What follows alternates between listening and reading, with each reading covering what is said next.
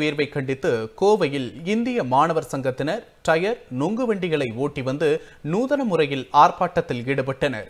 கோவை மாவட்ட ஆட்சியர் அலுவலகம் அருகே நடைபெற்ற ஆர்ப்பாட்டத்தில் கலந்து கொண்டவர்கள் இக்கட்டான சூழலில் கூட பெட்ரோல் டீசல் மீதான கலால் வரியை ஒன்றிய அரசு குறைக்கவில்லை.